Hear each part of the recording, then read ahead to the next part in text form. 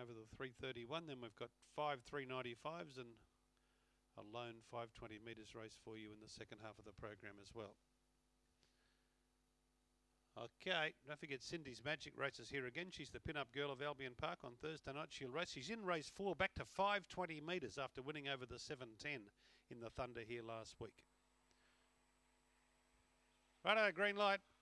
Ready. Racing, or Kinda Hot, missed it. Out very fast there was Hubcap Willie the reserve. Round the outside goes Cecil Benz and Tawny has run up into third placing as Cecil Benz takes over. Well back is uh, Gadira Spitfire, Kinda Hot, Boom, Tram Rocket, Kago and Roman Sand. But up the straight in front is Cecil Benz and Cecil Benz has just won from Hubcap Willie. Boom, Trom, Trom Comet would run third.